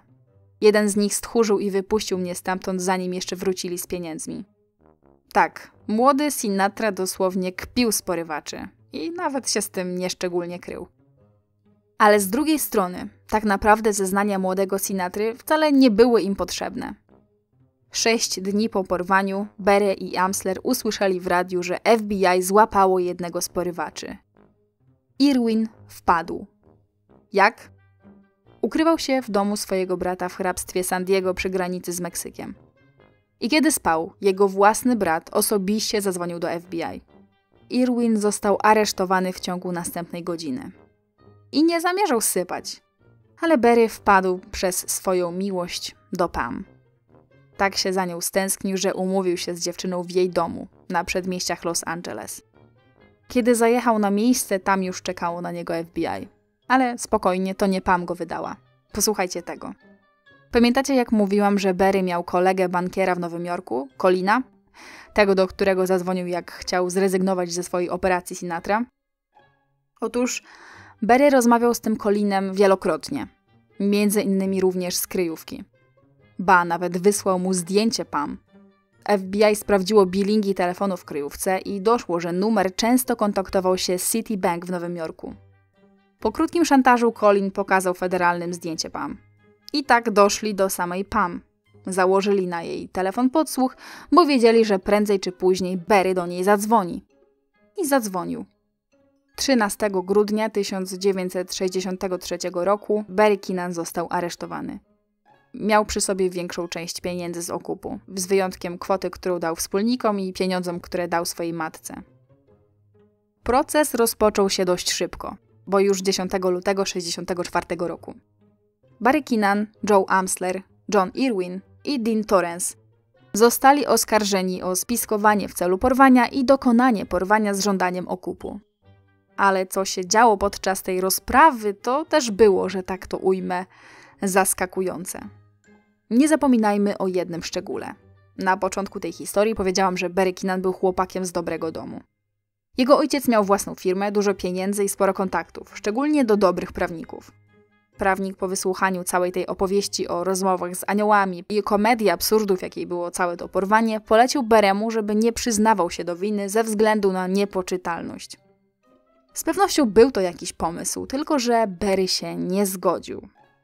Wiedział, że jeśli tak zrobi, to pewnie zostanie uniewinniony. Ale on tak, a jego koledzy nie. W trzech szaleńców to akurat żaden sąd nie uwierzy.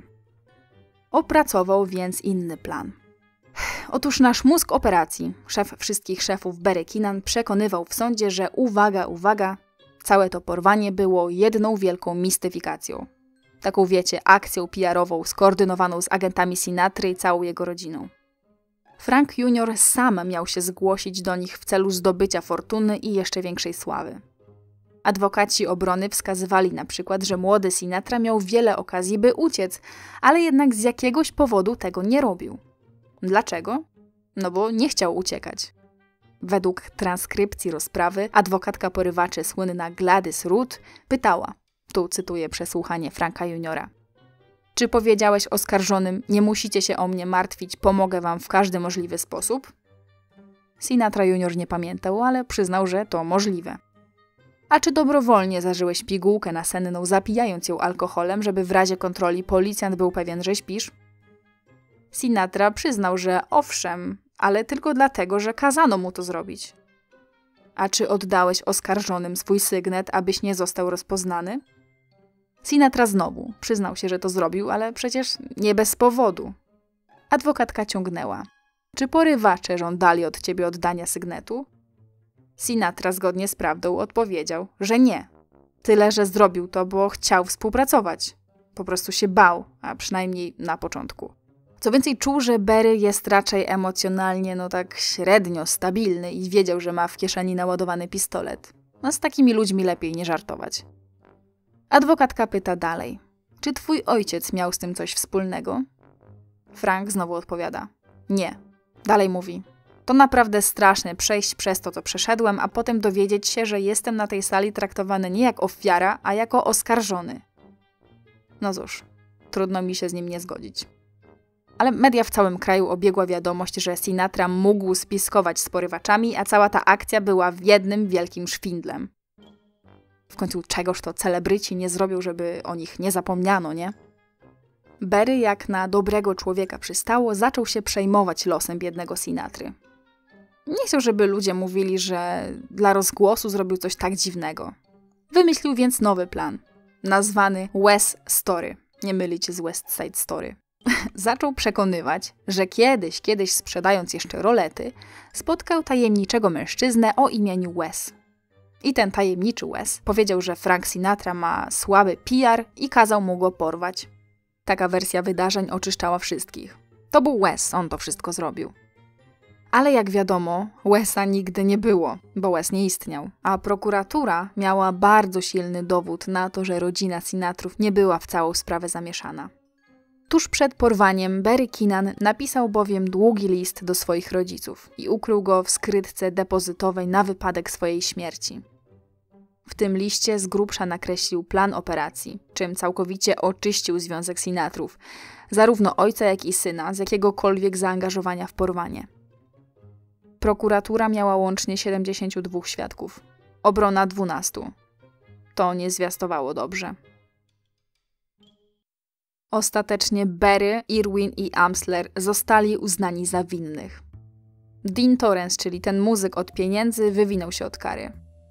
W jednej z biografii Franka Sinatry znalazłam wzmiankę, że sędzia mu odpuścił, bo niby przyznał się do wszystkiego i był uczciwy. No w końcu pożyczył mu tylko 500 dolarów i właściwie jedyne co zrobił to po prostu wiedział o tym, co się stało.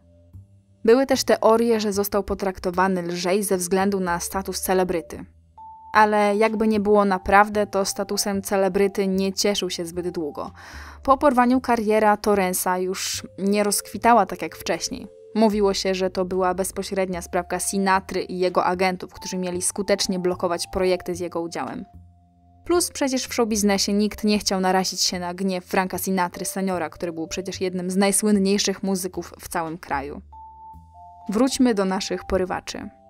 Irwin, który nie uczestniczył w samym akcie porwania, ale został oskarżony o spiskowanie w celu porwania i przetrzymywanie zakładnika, dostał karę 16 lat i 8 miesięcy pozbawienia wolności. Berego i Amslera skazano na 75 lat więzienia, maksymalny wymiar kary. Wszyscy trzej otrzymali też kwalifikacje do obserwacji psychiatrycznej w ośrodku medycznym dla więźniów federalnych. Znalazłam informację, że sędzia tłumaczył to właśnie tak, że może ich zesłać na obserwację właśnie tylko wtedy, kiedy da im maksymalny wymiar kary – nie wiem na jakiej zasadzie to działało, ale podało mi to kilka źródeł, więc powtarzam dalej. I w tym ośrodku Berry został zdiagnozowany.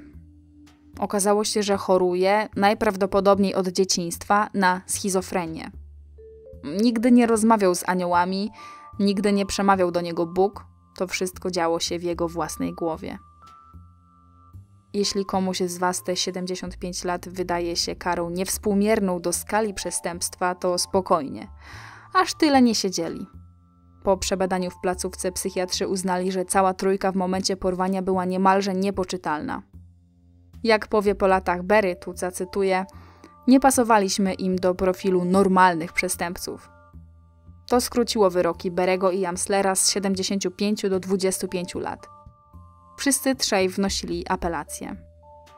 I tu jakaś opatrzność boska nad nimi rzeczywiście czuwała, bo sędzia podczas porządkowania akt odkrył pewne nieścisłości w papierach. Okazało się, że ktoś po stronie prokuratury majstrował przy raportach i dokumentach medycznych Berego. Sędzia tak się wściekł, ale to tak się wściekł, że skrócił wyroki całej trójki do 12 lat.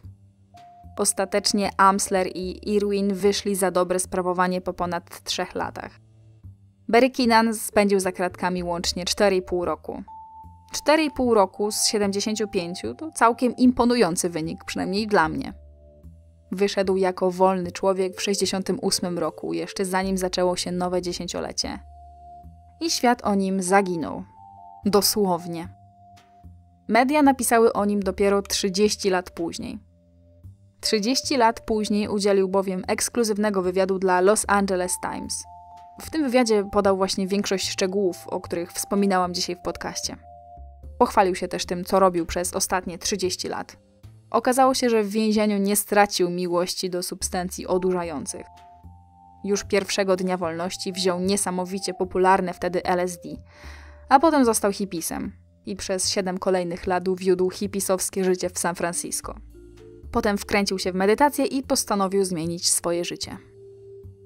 Okazało się, że w tym więzieniu żyłki do interesów również nie stracił.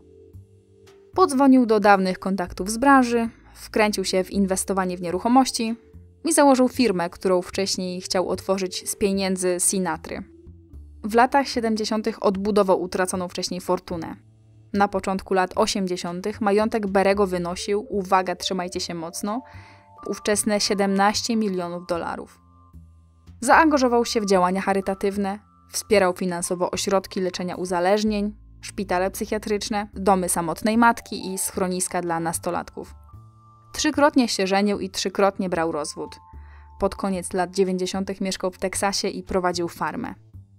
Dziennikarzowi Los Angeles Times opowiedział, że po latach od porwania kilkukrotnie wpadał na Franka Juniora na przyjęciach dla bogatych ludzi Kalifornii.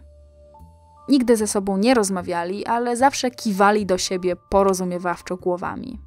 Jak jacyś tacy dawni znajomi, którzy niby nie mają ze sobą już nic wspólnego, ale z jakiegoś powodu nie są w stanie ominąć siebie tak po prostu, bez słowa.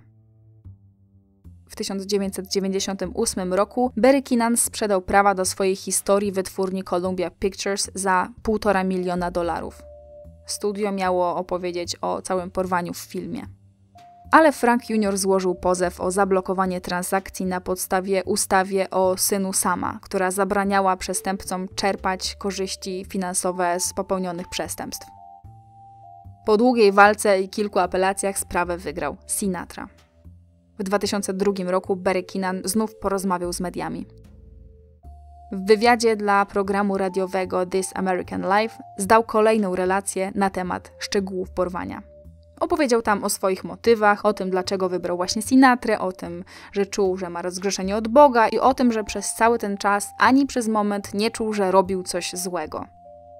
Planował przecież odrobić pieniądze z okupu i oddać je rodzinie Sinatry, jak tylko się dorobi. A jeśli ich nie przyjmą, to miał je przekazać na cele charytatywne.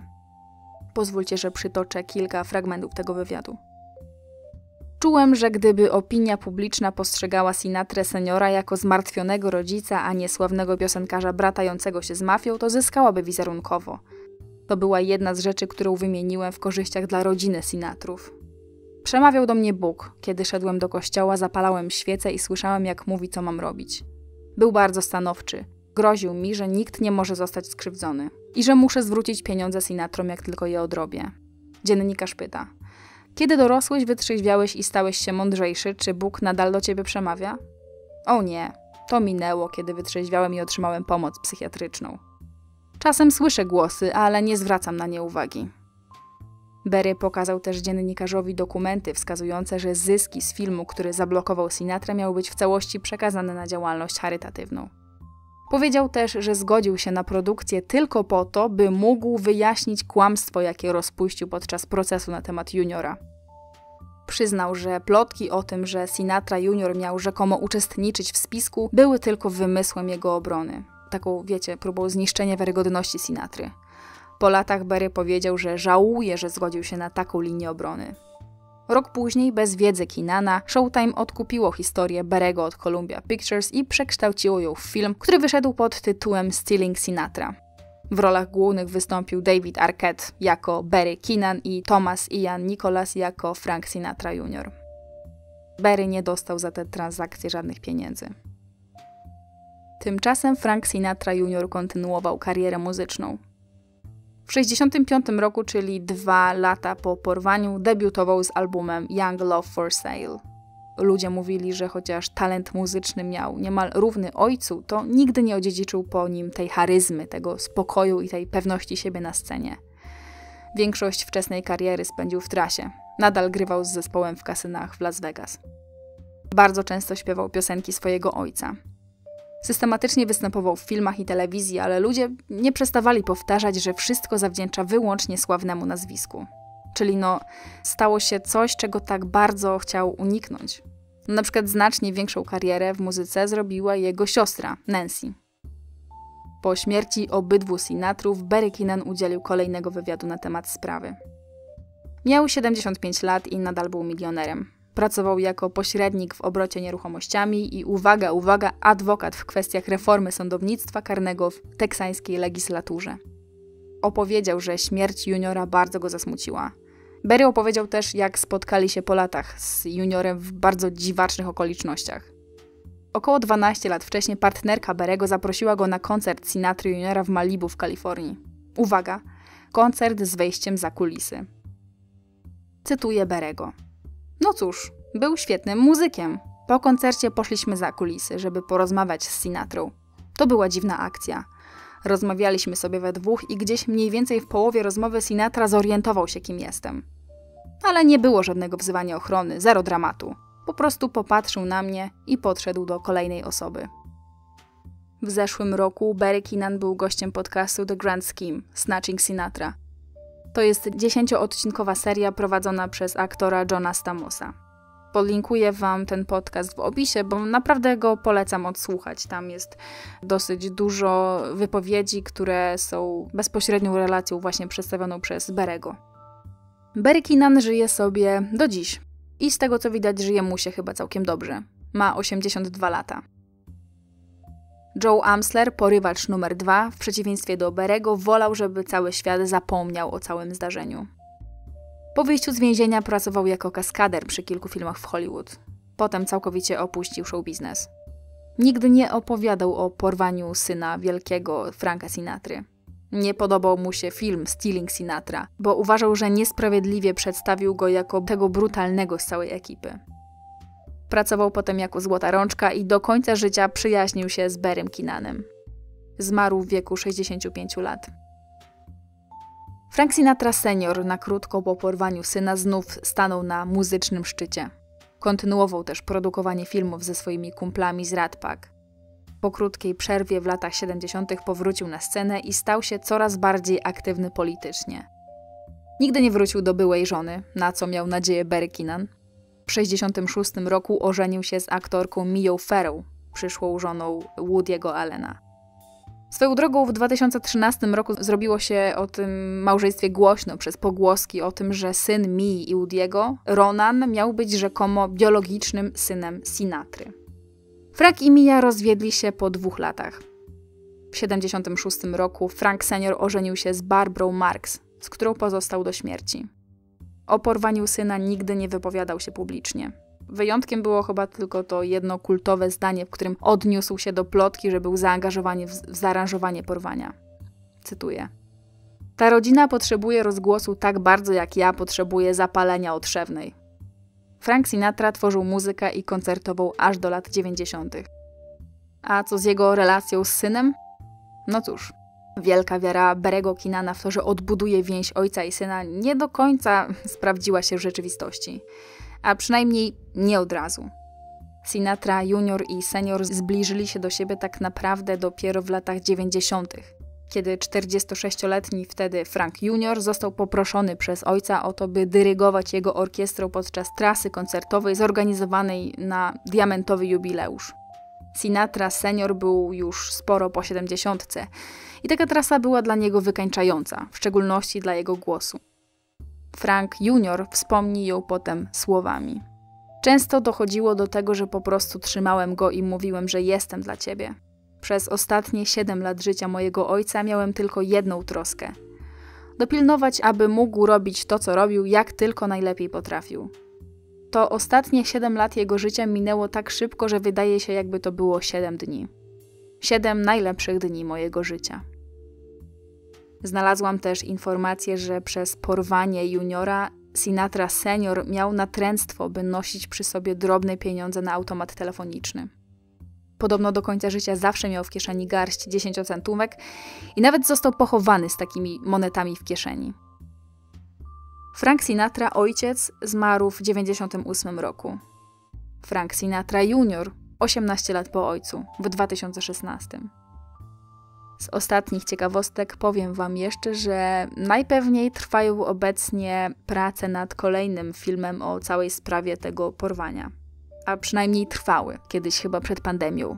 Według informacji, jakie znalazłam, za reżyserią tego filmu stoi Joe Mantegna, a film ma być zatytułowany Operation Blue Eyes, czyli Operacja Blue Eyes. Produkcja została ogłoszona w 2020 roku, ale na jakim etapie jest w tym momencie i czy dojdzie w ogóle do skutku, to niestety tego nie wiem, więc pozostaje czekać. I to już koniec dzisiejszej historii. Historii o tym, jak jeden plan jednego człowieka sprawił, że znalazł się na językach całego kraju. O tym, jak jedna głupia decyzja może doprowadzić do serii kolejnych głupich decyzji i historii o tym, jak nie porywać dzieci celebrytów. Przyznam, że to jedno z najbardziej absurdalnych porwań, o jakich w życiu słyszałam. I kiedy czytałam o tej historii, to miałam wrażenie, że to wszystko jest idealnym scenariuszem do kolejnej części serii filmów Kevin sam w domu a szczególnie ten Amsler z rozbitą głową, odmrożeniami po kilku godzinach spędzonych w bagażniku samochodu i rękami rozciętymi, jak tu cytując klasyka Jezus Chrystus po ukrzyżowaniu, no to przypominał mi tych włamywaczy, którymi zawsze działa się jakaś krzywda, kiedy Kevin budował swoje zasadzki. Ale z drugiej strony, to historia porażająco smutna w tej całej swojej zabawności. Bo przecież to była opowieść o strasznej chorobie, jaką jest schizofrenia i jej objawach i człowieku, który nie umiał sobie z nią poradzić. To opowieść o depresji, o uzależnieniach i potwornej desperacji, która może doprowadzić każdego z nas do absurdalnych zachowań. Szczególnie jeśli mamy znajomych, którzy zamiast nas od tego odwieść, to uznają to wszystko, co mówimy, za doskonałe pomysły. No i na koniec, to też historia prawdziwego dramatu rodziny Sinatra, który co prawda skończył się szczęśliwie, ale pozostawił zarówno juniora, jak i seniora z traumą do końca życia. A każdy, kto dosłuchał do końca, niech odpali sobie jakąś piosenkę któregoś z Sinatrów, a w komentarzu napisze pudełko z szyszkami. Dzięki wielkie za wysłuchanie. Do usłyszenia następnym razem. Cześć.